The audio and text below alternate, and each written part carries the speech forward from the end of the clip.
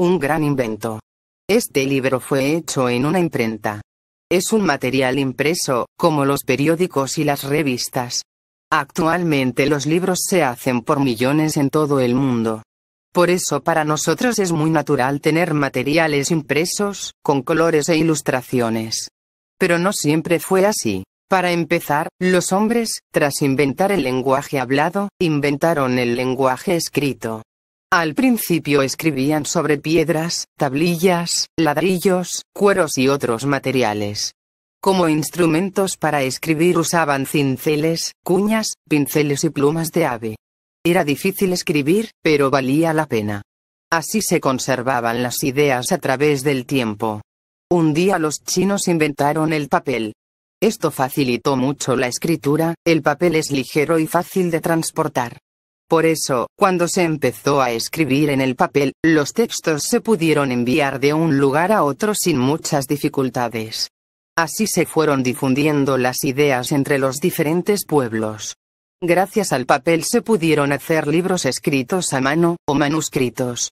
Después, para reproducirlos, se copiaban también a mano.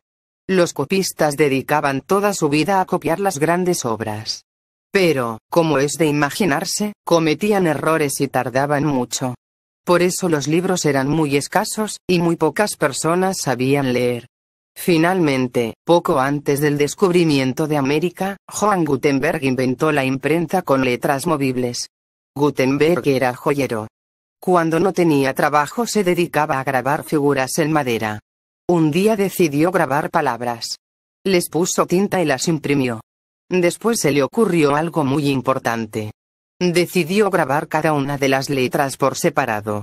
Así podría usarlas muchas veces para formar todas las palabras que quisiera.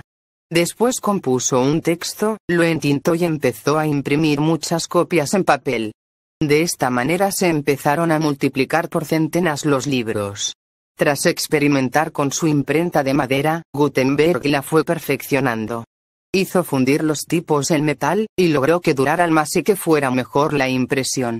Poco a poco el invento se fue popularizando y fue llevado a muchos países, hasta que llegó a México, donde se instaló la primera imprenta que hubo en América.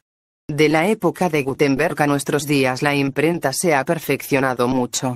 Ahora se utilizan linotipos o máquinas de fotocomposición para componer los textos. Y hay rotativas que imprimen sobre una banda de papel. La velocidad con que se hacen los libros también ha aumentado muchísimo.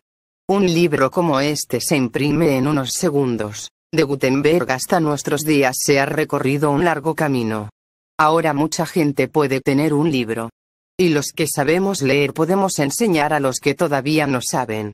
Así, aprovechamos ese gran invento, la imprenta.